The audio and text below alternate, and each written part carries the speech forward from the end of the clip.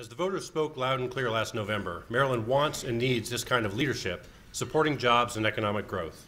So we're very lucky here in Howard County that Allan chose to give up a safe Senate seat where he could have stayed indefinitely and instead ran and won an extremely competitive race for county executive. We've already seen his leadership in action in just a few short months, and we look forward to working with him to make Howard County the destination of choice for business. So please, put your hands together and give a warm welcome to your new Howard County Executive, Allan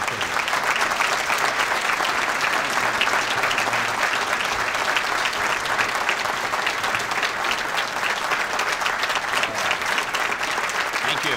Thank you very much. Thank you. Thank you, Greg, for those kind words. Um, it is really good to be here.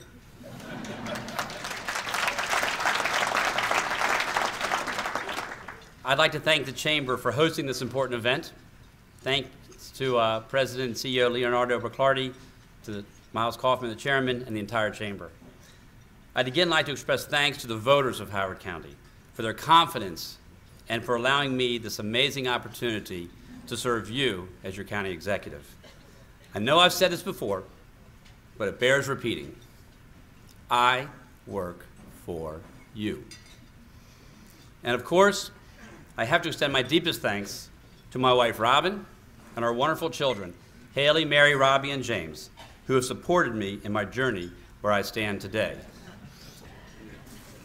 I'd like to present some flowers to Robin.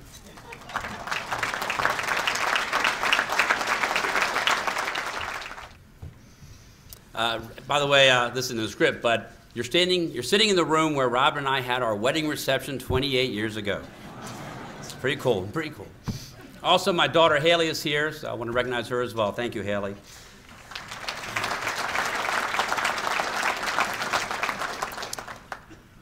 I've only been on the job for two months, and already I've learned so much.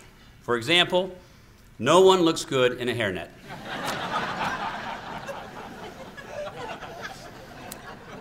the first order of business is to state unequivocally that I believe in collaboration and bipartisan politics. I always have, and I always will. Citizens of the state of Maryland don't elect us so we can engage in endless squabbling and party politics. They elect us to find solutions to problems and issues that affect their daily lives. They expect us to work together, and they expect us to work for them. I pledge to work cooperatively with our county council. Mary Kay, Jen, Greg, Calvin, Jon, I look forward to working with you and having many successful years together. Friends, the state of our county is strong. How we got here is important, but our challenge is how we become even stronger. We have a great county because of you, our residents and our businesses, who work hard every day. So thank you. I especially want to thank the 2,800 Howard County employees who make this county such a wonderful place to live. From the folks who clear the roads during the snowstorms, to those who protect us from crime and fire, to those who directly work with constituents. Our county would not be consistently ranked one of the best places to live in America without your dedicated service. We applaud you.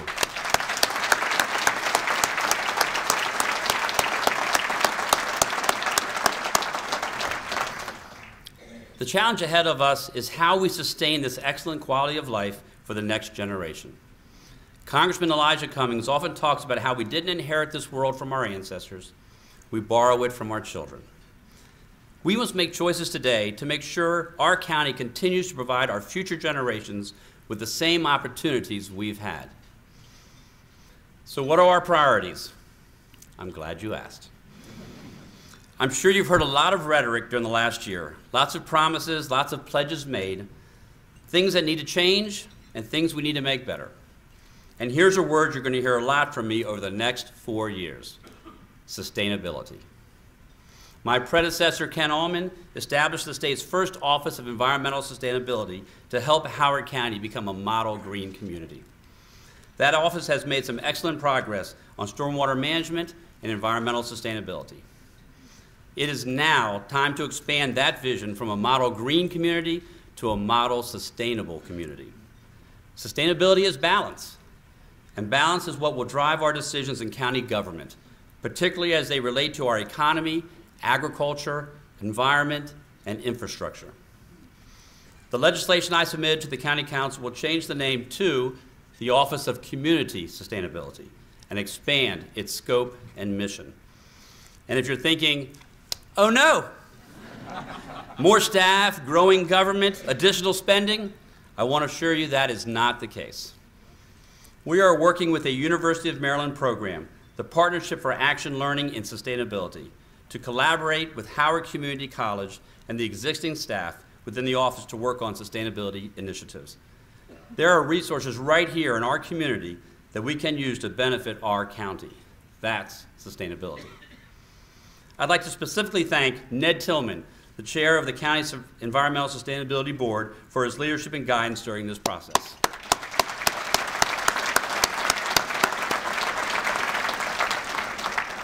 This was not an easy endeavor, and it took a lot of help from many people from all across the spectrum. Last week, we held our first agriculture sustainability roundtable discussion at TLV Tree Farm in Glenelg. The host of that breakfast, Jamie Brown, is also here today. Thank you, Jamie. This event, and we plan to do others, was an opportunity for us to meet with farmers from various parts of the county who use different business models and ask them, how can we help make your agricultural business more sustainable? How can we help you work more efficiently and productively in providing a food supply for county residents and beyond? How can we ensure that farming remains a part of the fabric of our county for future generations? As some of you may know, I come from a farm background, and this issue is near and dear to me. I thought I knew a lot about farming in Howard County, but I was surprised by how much I didn't know and what I learned. This is why we will continue to reach out to other industries for similar conversations. In Howard County, the idea of sustainability has also been embraced by our children. Students in our schools are reaching out and asking to do new and innovative projects. At Pointers Run Elementary School, a class of fourth grade students contacted school administrators and the county's Department of Public Works to ask if they could start a composting program. It started with one class, and now the entire school is on board. Another great success is our county's pilot program, the Roving Radish. The Roving Radish is a food truck which provides low-cost, nutritious meals at specific locations in the county, making it more convenient to access fresh and healthy food. We plan to continue and expand this program because it's not only beneficial, it's also sustainable. Through the pilot program, we found this concept was particularly popular among families with young children, half of which were eligible for reduced and subsidized rates. And this has also been popular with our seniors. The Bain Center stop had the highest participation rate. By offering affordable, nutritious meals that are easy to access within neighborhoods, we encourage people to choose a healthier diet. It's something they want to do and not something imposed upon them by the government. If that's how we can promote change through education and access to what's healthy at a price that people can afford. At the roundtable last week, several farmers shared their enthusiasm for the Food Hub project, which in conjunction with the roving radish will help us do a better job of using food grown and produced right here in Howard County. You see, this is how this whole sustainability thing works. We grow it here, prepare it here, distribute it here, sell it here, and consume it here. At the end of the day, we compost anything left over.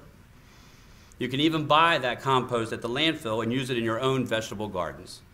And the cycle begins again sustainability.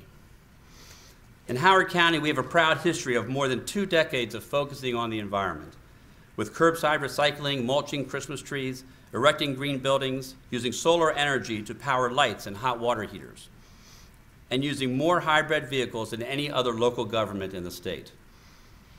In many ways, we're far ahead of other communities across the nation.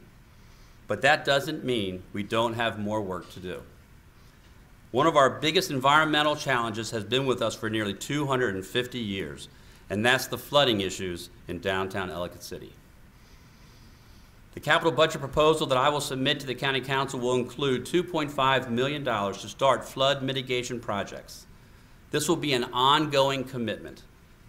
I think we've done enough studies and planning. It's time to start the work.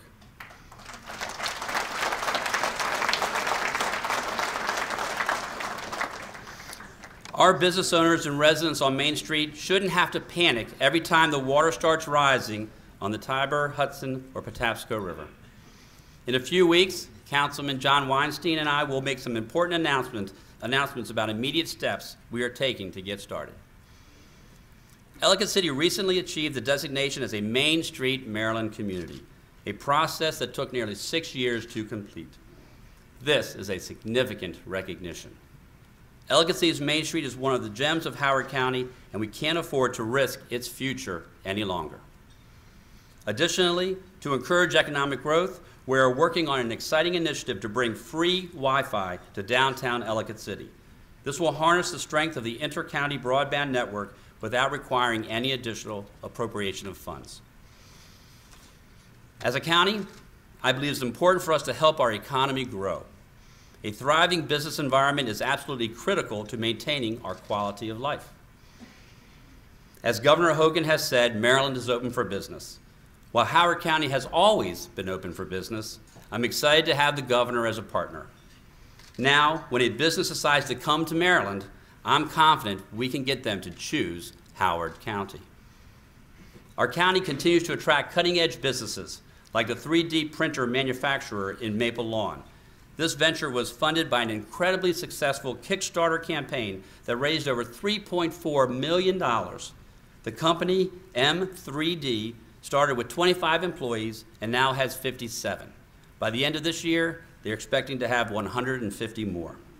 I'd like to recognize one of the company's co-founders, Michael Armani, who is a River Hill High School graduate and studied at our school's applications and research laboratory. Stand up again, Michael.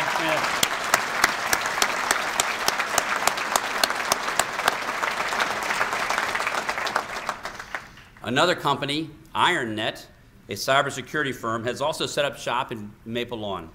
Its CEO, General Keith Alexander, was the top military, military man in charge of our nation's intelligence and cyber communities. He decided to relocate his company from Washington, D.C. to Howard County. In the next few years, this company is expected to add several hundred new high-tech jobs. These are sought-after jobs that attract and retain a highly trained workforce. I'm proud to make several economic development announcements today. First, Food Authority will be taking over 78,000 square feet of space in Jessup, bringing 120 jobs to Howard County and $2 million capital investment. Second, we have more than $600,000 worth of catalyst loans in the pipeline for small and minority-owned businesses. The first of these went to Manor Hill Farm for developing the county's first Farm Brewery. And third, I've asked Lonnie Robbins, our Chief Administrative Officer for the county, to take the necessary steps so that the county can begin to invest locally. Building a sustainable economy starts with us. Taxpayer funds spent on critical services should be reinvested right here. We can help businesses in Howard County thrive by increasing the percentage of county services that are contracted to locally owned small and minority businesses.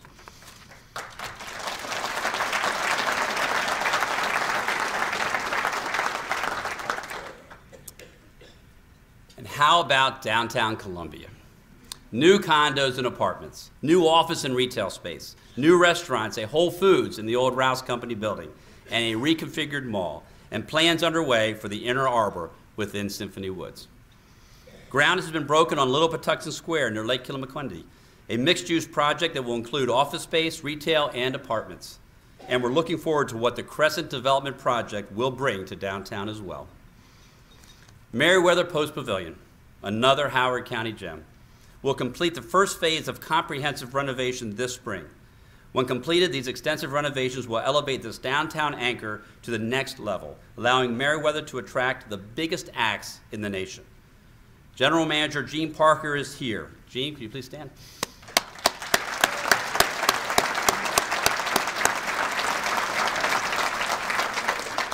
Gene's done a tremendous job turning Merriweather into a world-class venue. Folks, downtown Columbia is looking like a real city. This is what Jim Rouse envisioned 50 years ago. I remember as a kid crossing Route 29 from All Allview Estates to fish and swim in Lake Kittamaqundi. I know, I know.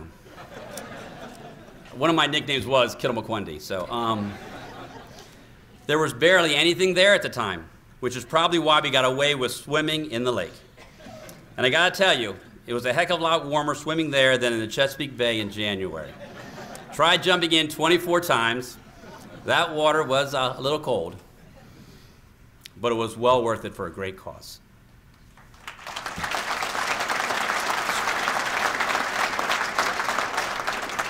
Special Olympics, Maryland.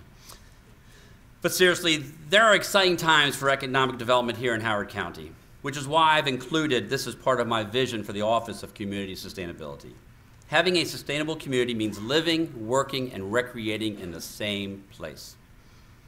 To truly achieve our goals, we cannot overlook our county's older communities, including our aging village centers such as Long Reach and Oakland Mills. We have already started these efforts in Wild Lake. I've met with stakeholders in Long Reach and Oakland Mills and will continue this dialogue to make sure we craft redevelopment plans that put greater emphasis on what the community wants. I've asked my Chief of Staff, Diane Wilson, to take the lead in working with both communities, along with Councilman Calvin Ball, to begin developing these plans. We also cannot forget about revitalization efforts on the Route 1 corridor. I will be working with Councilwoman Jen Terrasa to develop a strategy for the properties owned by the county along Route 1 in Savage and North Laurel. Last month, I met with Congressman Dutch Ruppersberger, and we'll be working together to make Route 1 the cyber hub of Central Maryland, capitalizing on the presence of the U.S. Cyber Command and attracting businesses that will bring more jobs to our county. We're already seeing innovative businesses expand to this part of our county. I'm excited to have Casey Turner of Jailbreak Brewing Company here today. Casey, please stand.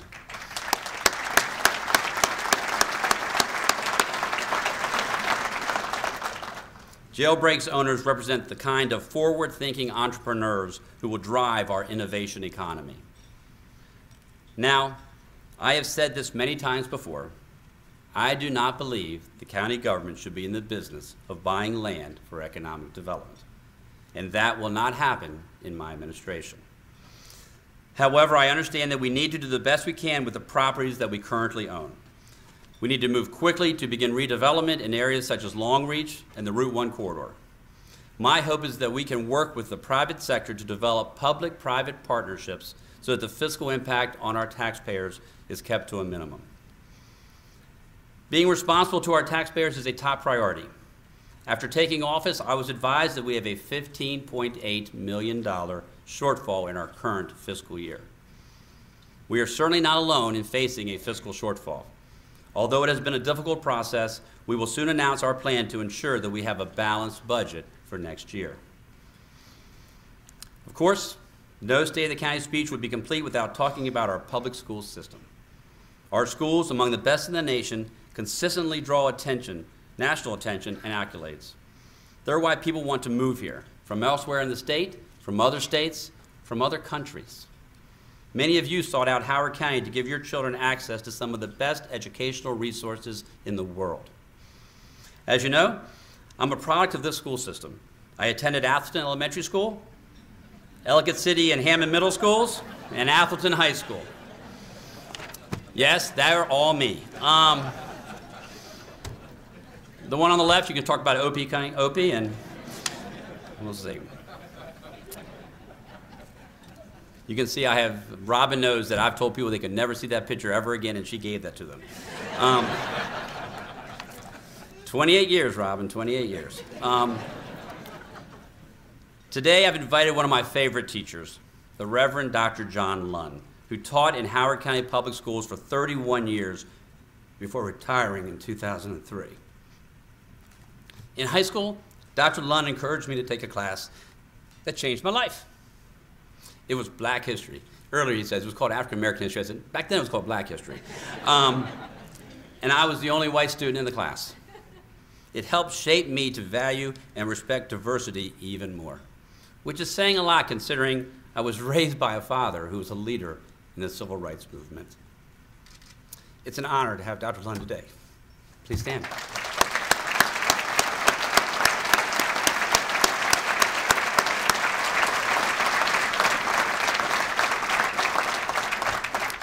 See, teachers do make a difference in individuals' lives. Our schools are great, not just in bricks and mortar, not just in supportive parents and high test scores, and not just because Haley Kittleman teaches at one of them. our schools are great because of our commitment to excellence and our team effort among parents, teachers, administrators, support staff, and your elected officials.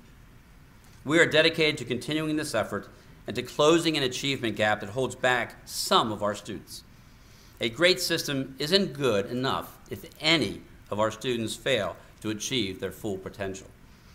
Eliminating the achievement gap will require varied approaches and initiatives, some of which will begin with the youngest of our county residents. That is why I'm working with Council Chairwoman Mary Kay Sigaty to create the Early Childhood Education Task Force, chaired by Mary Kay. Through this effort, we will develop strategies and initiatives to improve early childhood education, particularly among children from low income and vulnerable homes. I'm excited to support the county's first early college access program at the Applications and Research Laboratory. This countywide program puts students on the path to an AA degree and several professional certifications within a year of graduating from high school. It also connects them to high paying jobs in network security. Some of the students from this program are here, and I'd like to recognize them. Mason Godsey from Mount Hebron High School, Jalen Garrick from Hammond High School, Brianna Richardson from Howard High School, Edward Frederick Bittner from River Hill High School. If you could please stand.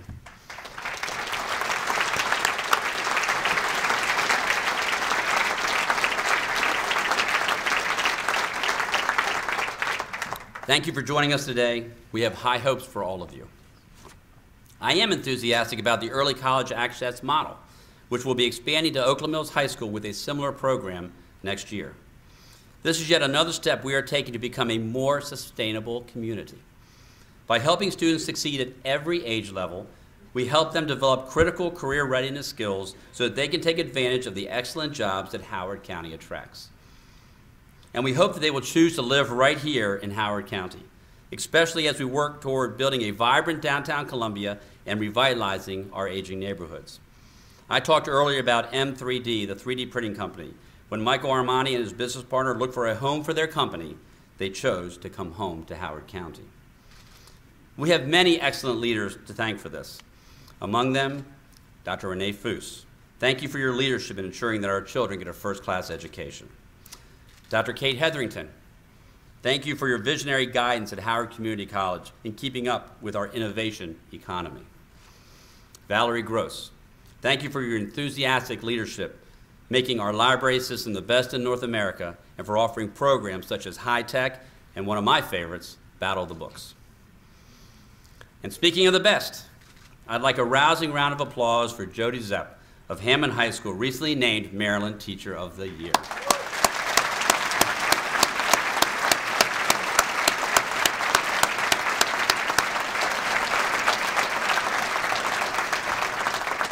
It's truly a proud moment for us because this is the first time in 25 years that a Howard County teacher has been named Maryland Teacher of the Year.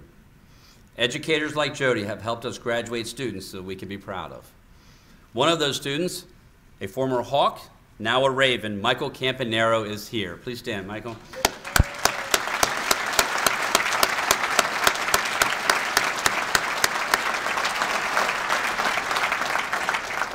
Whether you're a Redskins fan or a Raven fan, or dare I say it, a Steelers fan, I know that all of us were very proud every time this young wide receiver made a catch on national TV.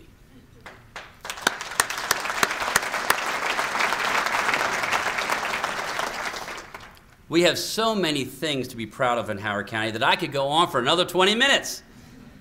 But I'm guessing you don't want me to do that.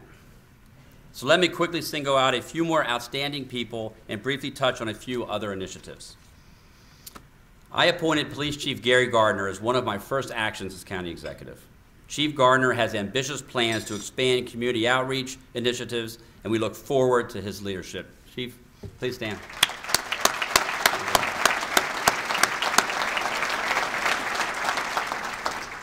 Fire and Rescue Services Chief John Butler was sworn in on January 20th.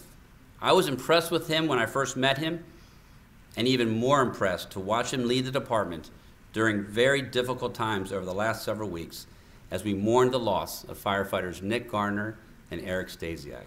Chief?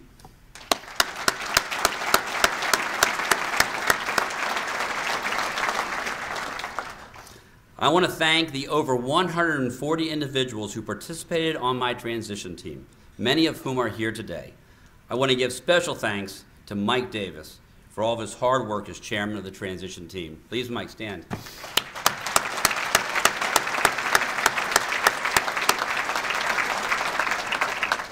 Andrea Ingram of Grassroots Crisis Intervention Center is here today. Last year, she celebrated 25 years with Grassroots. I am inspired by her strength and appreciate her support for the New Day Resource Center, which will help end homelessness in Howard County. And I want to thank the County Council for voting in favor of that resolution.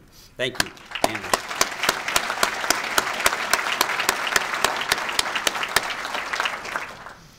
Construction has begun on a $77 million, 145,000 square foot science, engineering, and technology building at Howard Community College. Exciting times. Work is underway to implement Open Howard, which will make data available online so you can see where your tax dollars are going. Thank you to Council members Greg Fox and Jen Terrasa for their leadership on this effort. And we've started building the backbone for a performance measurement system called HOCOSTAT. This will help you keep us accountable. You've heard a lot from me today. And now I want to ask you for your help.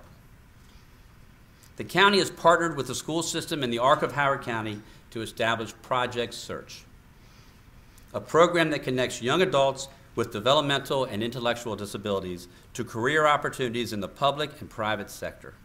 In county government, we have 12 interns working this year, working alongside our employees. These interns are gaining invaluable work experience through this process, experience we hope will help them secure productive and rewarding jobs. Today, I ask that you consider bringing a Project Search intern into your workplace as well. You can reach out to Coordinator Kim McKay with the ARC if you have interest in this worthwhile project. It's efforts like Project Search that make Howard County so special. We have a great county and so much to be proud of. Just recently, Columbia was recognized as one of the most caring communities in the country. As long as we have residents and businesses like you who are willing to keep on investing right here, I know we will continue receiving honors and being singled out as one of the best places to live. Together, we will keep moving ahead and keep getting better. Thank you.